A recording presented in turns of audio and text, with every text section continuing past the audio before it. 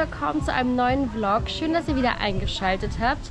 Ja, wir haben es endlich auf die Insel geschafft. Wir sind gestern ähm, gelandet. Es war ein wunder wunderschöner Flug. Falls ihr es nicht gesehen habt, auf meiner Instagram Story habe ich alles dazu aufgenommen. Heute sind wir in Boracay. Das ist eine sehr, sehr bekannte Touristeninsel, würde ich jetzt mal so behaupten, neben Palawan. Denn äh, unsere ersten Eindrücke von gestern Abend war ja, sehr, ja, sehr voll. Mhm. Ähm, aber wir wollen uns das trotzdem alles mal genauer anschauen und deshalb haben wir uns jetzt so ein Hop-on, Hop-off Busticket geholt. Das haben wir uns hier in der Rezeption geholt, in unserem eigenen Hostel. Ähm, du kannst dir einen verschiedenen Tagespass aussuchen und dann kannst du den von morgens bis abends also eigentlich den ganzen Tag nutzen und überall einsteigen und aussteigen. Richtig praktisch, um einfach mal sich ein Bild zu verschaffen von dieser Insel. Also ja, let's check it out. Na, na.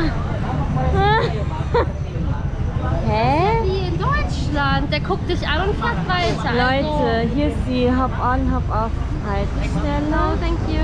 Und der Bus ist einfach weitergefahren verstehe ich jetzt nicht. Na, dann warten wir halt noch Dann müssen wir da rein.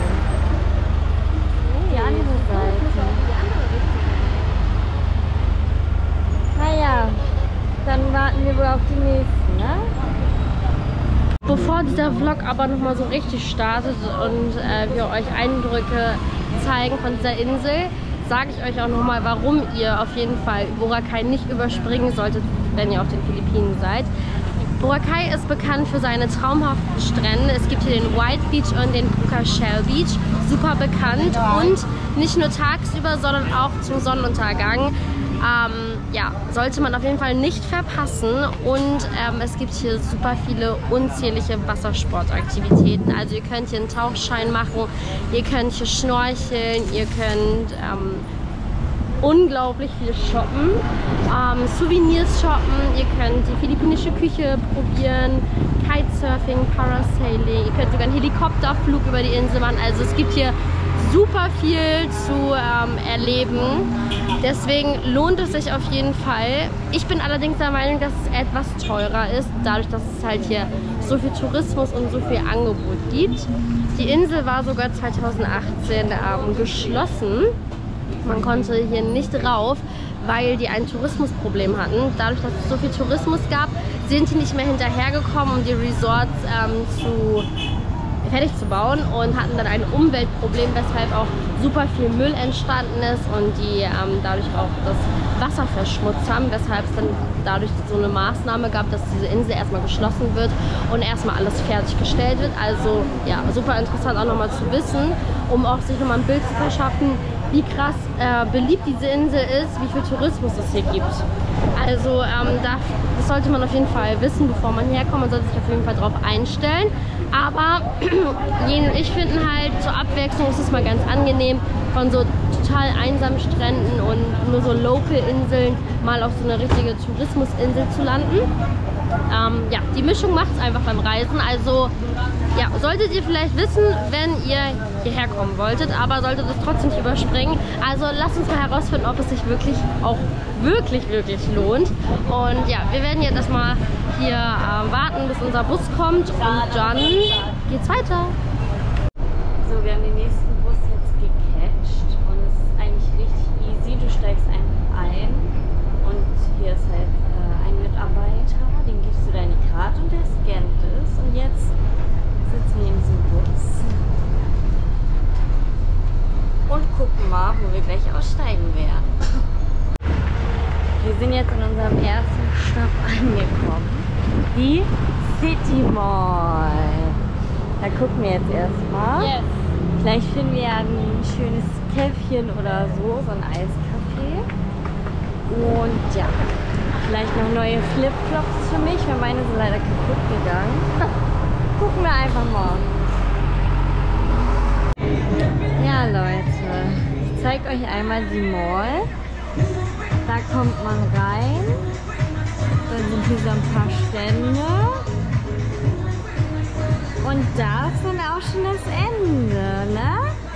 So, wir sind durch. Es hat auch halt zwei Minuten gedauert. Ja, also wenn ihr hier seid, äh, erwartet nicht zu viel, ist eine ganz, ganz kleine Mall. Wir sind jetzt an unserem eigentlichen ersten Ziel angekommen, dem Puka Beach. Das ist ein sehr beliebter Strand hier. Und bevor man da hinkommt, sind hier so ganz viele Souvenirshops und so. Und hier gibt es auch frische Shakes. Oh, but the shakes are very expensive. Wir gucken mal, ob wir hier jetzt einen Shake trinken oder nicht. Und dann gehen wir zum Beach. So, es gibt jetzt ein Mango-Shake für mich. Ähm, starte niemals einen Tag auf den Philippinen ohne einen Mango-Shake.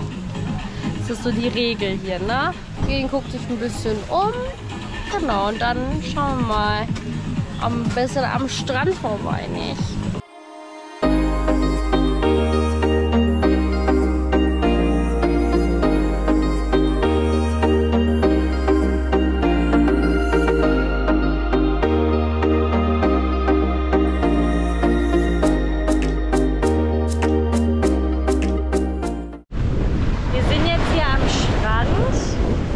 Wasser.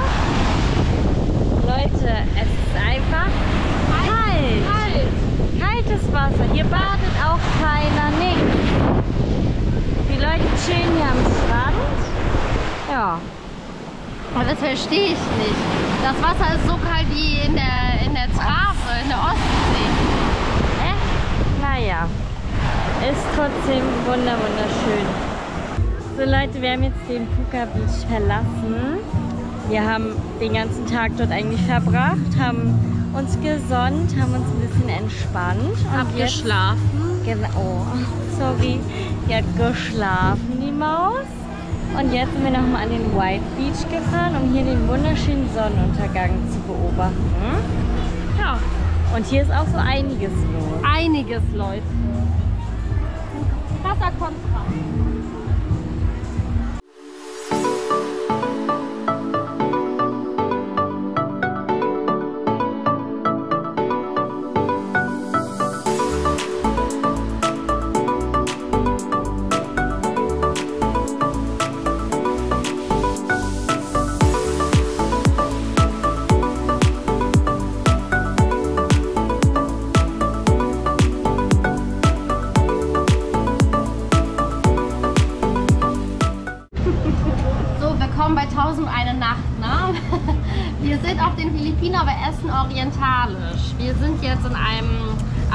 arabischen Restaurant geladen, äh, gelandet.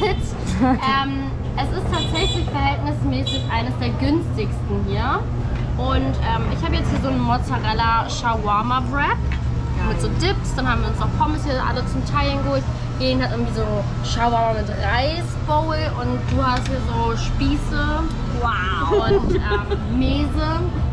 Und dazu haben wir alle so einen Calamansi Ice Tea in so einer Blechtrommel. Und ja, das gönnen wir uns jetzt und dann schmieden wir mal ein paar Pläne für heute Abend, ne? Genau, guten Prost. Appetit. So, wir sind jetzt wieder im Hostel, machen uns einmal fresh und dann wollen wir noch ein bisschen rausgehen, ähm, ein bisschen die Bars abchecken.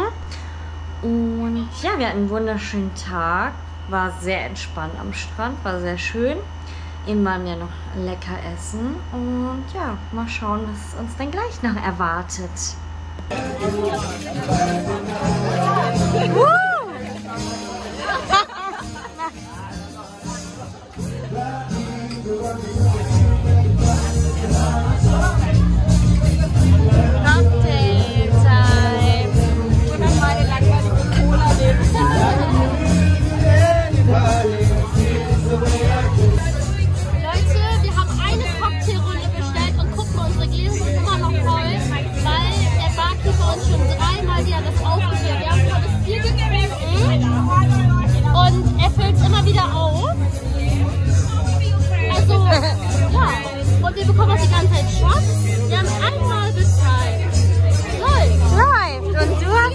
Cola. Naja. Cheers. So, was haben wir jetzt bekommen? Rainbow Shots. Na dann. Also ich weiß Chin, nicht. Chin. Chin Chin. Prost. Cheers. Cheers. Leute, wir haben uns gerade ein Ticket für die Full Moon Party morgen geholt, die zum Sonnenaufgang geht. Und jetzt kommt, wir haben uns für Speed Dating registriert. so, tomorrow Speed Dating. Are you ready for it? I'm not counted. I'm married. You're married. Oh, congratulations. So she's my partner for tomorrow.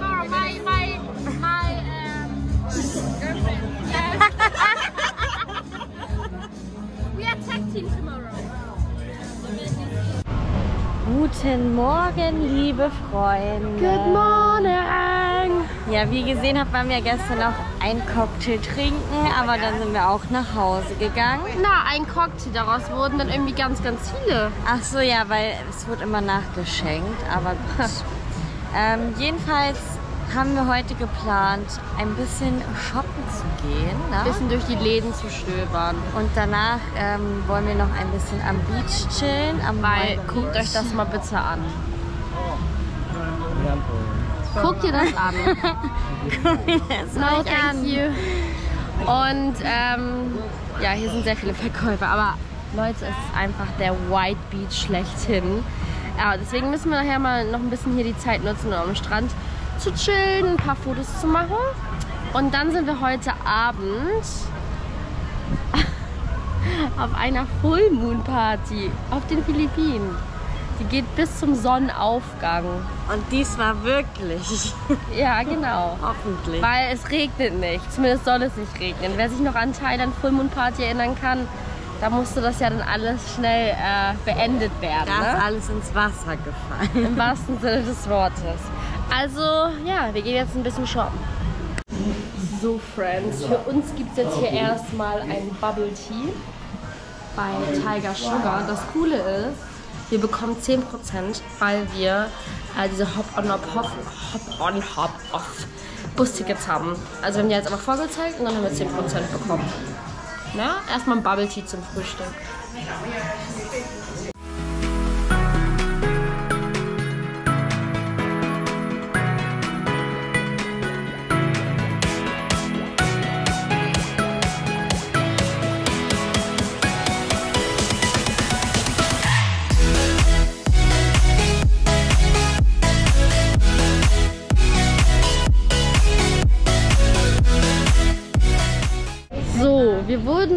Nicht fündig. Wir wollten ja eigentlich irgendwie mal einen neuen Bikini und neue Kleider shoppen, aber es ist halt alles sehr so touristisch angelegt. Also es ist souvenirmäßig. Ganz viele ähm, T-Shirts, wo Boracay draufsteht, ganz viel Schmuck und überall Flipflops und ja, deswegen sind wir da nicht fündig geworden, aber es ist nicht so schlimm. Wir suchen uns jetzt ein schönes Lokal hier in der ersten Reihe und holen uns mal ein Käffchen und ähm, genießen dann diese wunderschöne Aussicht. Das ist jetzt erstmal der Plan und dann ähm, schauen wir mal, wie lange wir das machen. So, meine Lieben, wir haben jetzt ein Lokal gefunden und schlürfen jetzt unsere Cocktails mit dieser Aussicht. So schön. Und beobachten hier schön die Leute, quatschen hier ein bisschen. Jeden ist hier schon wieder hart am Arbeiten fürs nächste YouTube-Video, ne?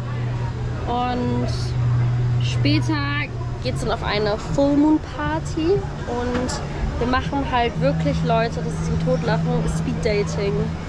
Wir machen einfach Speed Dating. Wir wurden einfach gestern äh, bequatscht und haben einfach zugestimmt und haben uns registriert und ja, wir drei sexy chica Single Ladies werden dann heute einfach Speed daten, ne? So ist es. Bist du aufgeregt? Es gibt 10 Free Shots. Das ist wahrscheinlich der Hauptgrund, oder?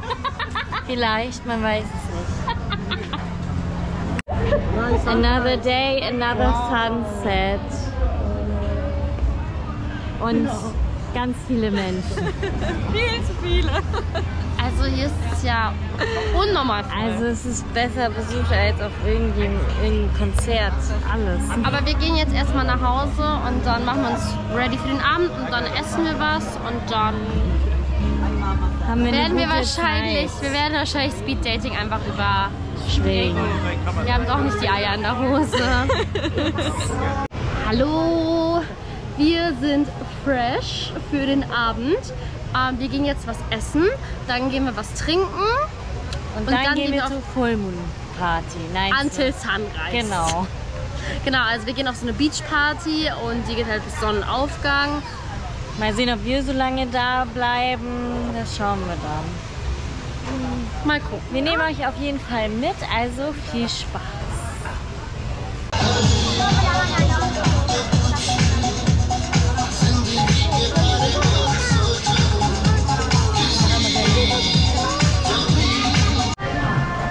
So, Freunde, wir sind jetzt bei Muni Muni.